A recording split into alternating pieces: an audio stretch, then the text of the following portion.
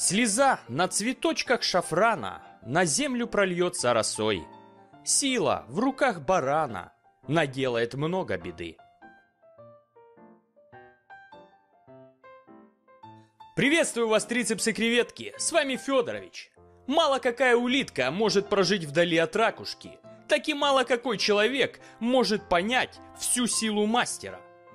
Честь наступающего 2022 года, с которым я и хочу вас поздравить и пожелать всего самого лучшего, я решил сделать подборку топовых русскоязычных мастеров, которые были на моем канале и получили невероятную славу.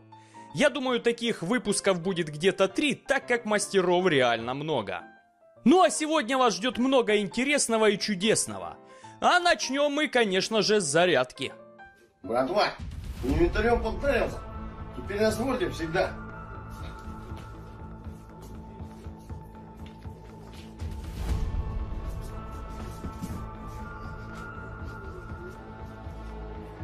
Сука, даже не попадаем. Ха. Ни хрена себе. Вот это шарик.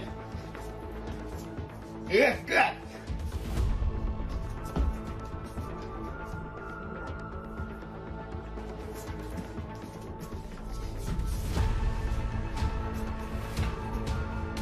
Сюда бить приходится.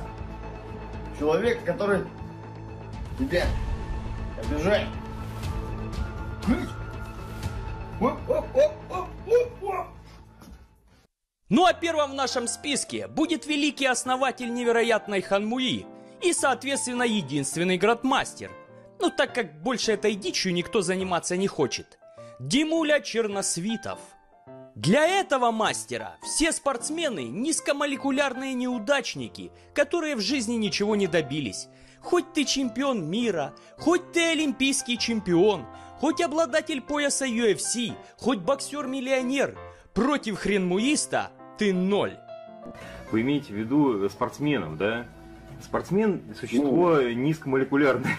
То есть, э, по моему мнению, спортсмены – это люди, которые не имеют э, достаточно развитого интеллекта, да, ну вот, э, для того, чтобы вообще что-то в этой жизни значить.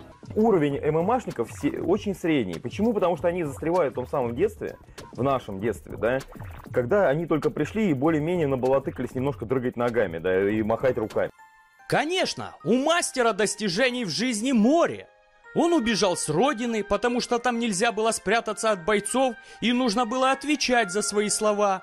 В карьере он также достиг больших высот, иногда подрабатывая сварщиком на заводе в Чехии. Ну и, конечно, в блогерстве у него огромные успехи. Ведь его канал, весь контент которого строится на разоблачении тех, кто разоблачил Черносвитова, а таких видео в ютубе десятки, если не сотни, смотрят тысяча человек. Это все очень нравится его подписчикам, которые верят мастеру и его экспертному мнению, знающему все и обо всех, и даже не проверяют правдивость информации. Он даже делал обзор на Скотта Эткинса. Это актер, который играл Юрия Бойко в «Неоспоримых», где сказал, что Эткинс не знает тэквондо и показывал, как надо бить. Ну, конечно, мастеру виднее. Но чтобы понять, кто такой Черносвитов, достаточно посмотреть его интервью на канале Боевых Ботаников и почитать комменты под видео.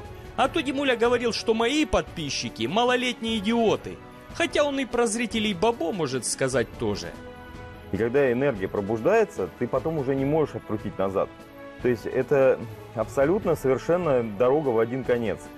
То есть нет, нет, нет такого, что ты тренируешься, у тебя больше энергии, не тренируешься, у тебя меньше энергии. Когда я к этому пришел, это было независимо от меня, это нужно было просто проделывать определенные упражнения. Боевое искусство как раз это именно по- получается достижение вот этого самого состояния, ну, наверное, какого-то блин, чуть не сказал, высшего разума. Вот это ощущение, когда ты можешь в себе это использовать. То есть ты получаешь это как дар. Кстати, если вы не знали, именно этот мастер вызвал меня на бой. Но, как говорится, чем махаться вблизи, лучше ругаться издали. Поэтому я вызываю Виталия Варченко на бой. Тебе время неделя на то, чтобы со мной связаться. Вот только беда в том, что мастер сделал этот вызов не мне, а своим подписчикам. А я про него узнал только через два дня от тех же преданных подписчиков.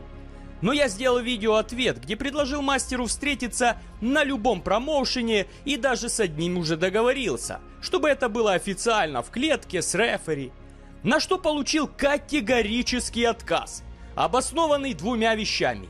Первое – это то, что жопа мастера не продается, и он не будет выступать в промоушене. То есть эта чепуха заявила, что все бойцы UFC, Беллатора, Топ-Дога, Махача и всех промоушенов продажные жопы. А во-вторых, Черносвитову нельзя покидать свой унитаз силы дальше, чем на 200 метров. Поэтому он будет драться исключительно на заднем дворе своего дома, ну или в парке неподалеку, куда все, кому он бросил вызов, или кого облил грязью в своей дворяно-быдляцкой манере, должны явиться. В общем, это так меня позабавило и со стороны выглядит, как будто выходит Димуля с магазина, где затарил пивасик, а ему мужик на входе говорит «Твоя ханмуя дичь, а ты обычный балабол».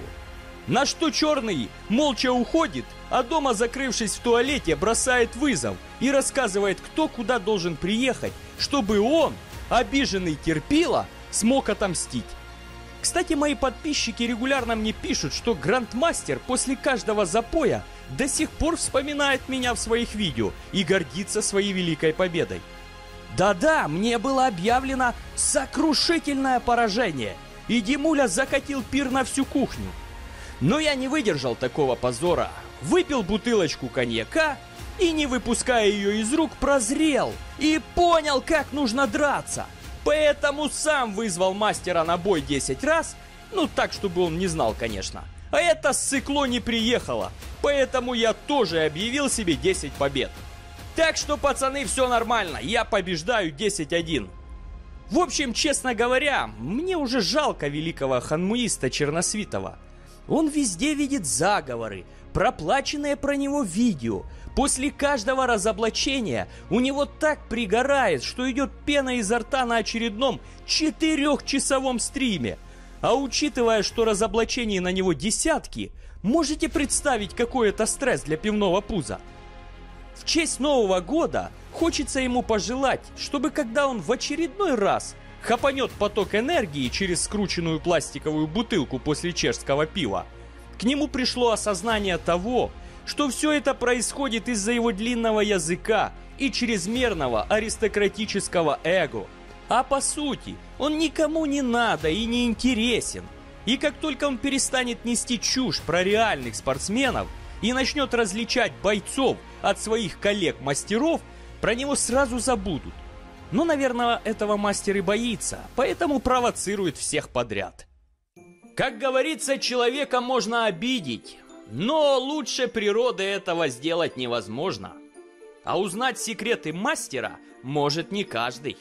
Но я узнал.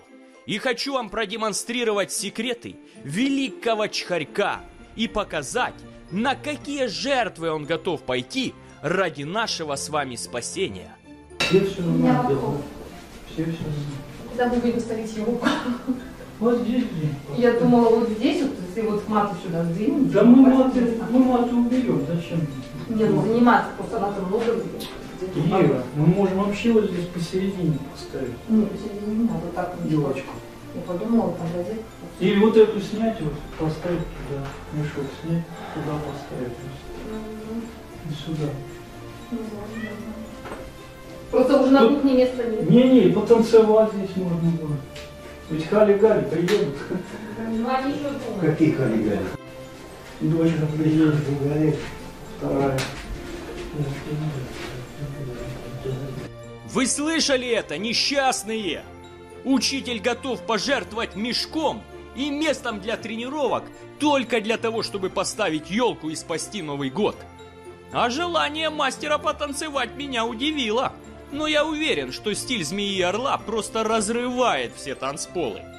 Ну да ладно, есть вещи, о которых на тренировках нужно говорить более серьезно.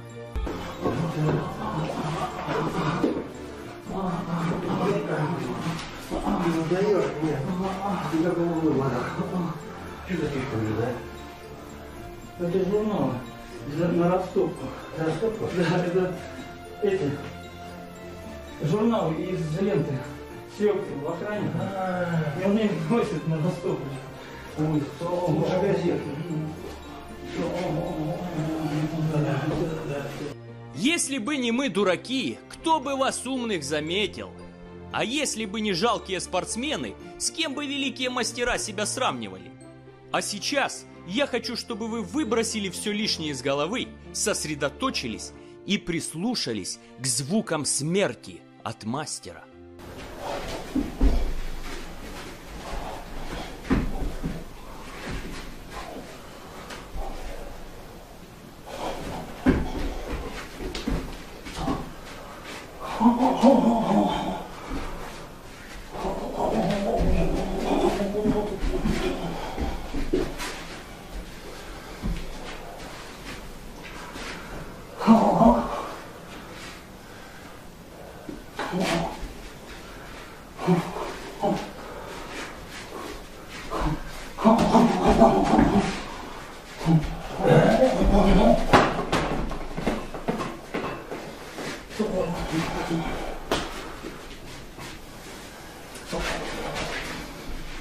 Нас ждут великие дела, но мы-то знаем, что они нас не дождутся.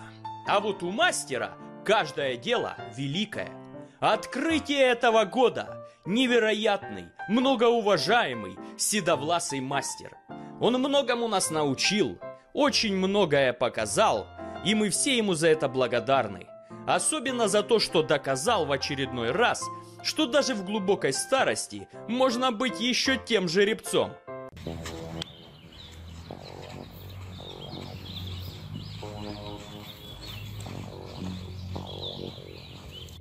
В женитьбе есть много плюсов, но к ним нужно привыкнуть.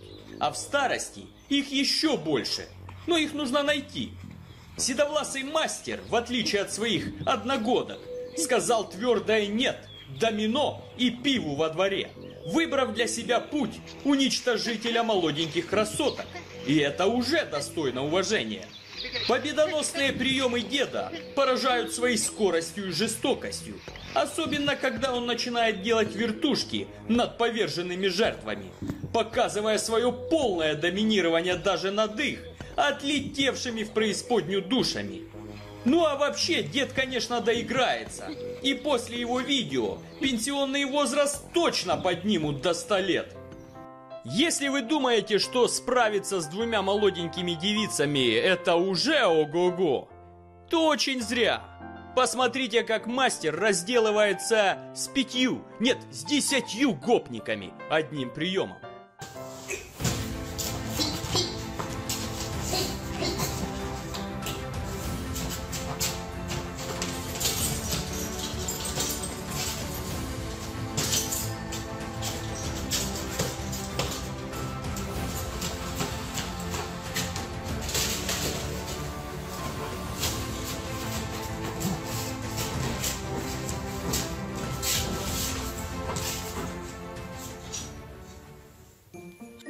Жирафа невозможно удивить березой, ибо он ее никогда не увидит, а мастер удивляет каждым своим приемом.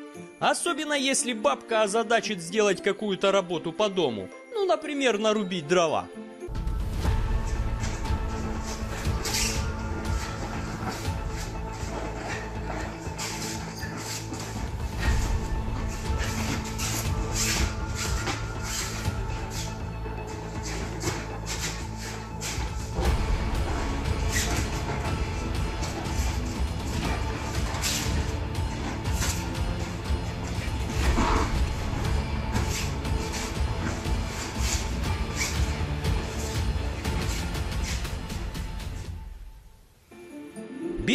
Дураках и дорогах, а в том, что дороги строят дураки.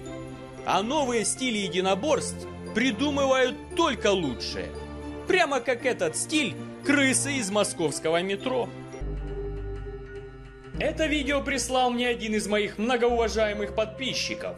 На ваших экранах основатель легендарного и одного из самых эффективных стилей для уличной самообороны под названием «Крыса в московского метро».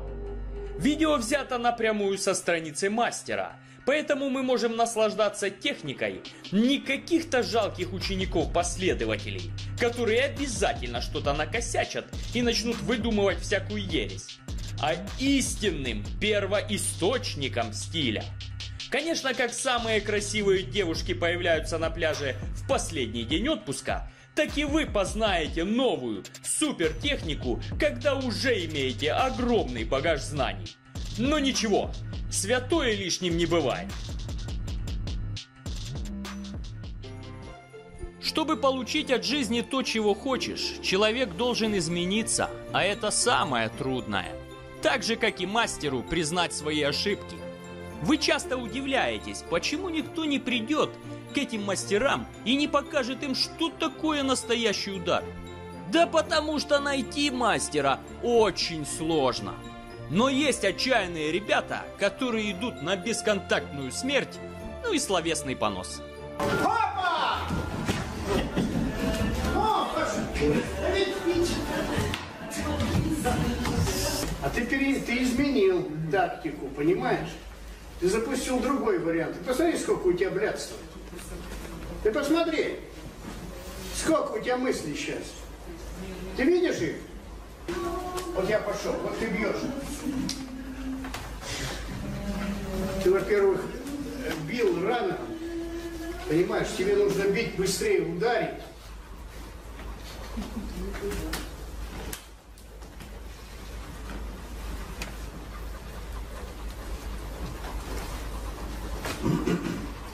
Что интересно, вот он бьет тогда. Ты понимаешь? Я вижу твоего подлеца, понимаешь? Но дело в том, что, ну пускай он будет. Но, ну нет у меня никакого желания. Подписывайтесь на канал, ставьте лайк, жмите колокольчик и делитесь видео в соцсетях. А в комментах напишите, поняли что-то из этого видео или вы и так уже мастер. А поддержать канал и получить мою благодарность вселенской силы вы можете став спонсором канала по ссылке возле кнопки подписаться, увековечив свое имя в конце видео и получив плюс 100 к карме. А если вы хотите провести себя в форму и посмотреть серьезные обзоры боевых бойцов, подписывайтесь на мой второй канал по ссылке в описании. Там же вы можете забрать бесплатные видеокурсы по самообороне и муайтай и подписаться на телеграм-группу «Движуха с Федоровичем». Благодарю за просмотр и настойчивости в тренировках.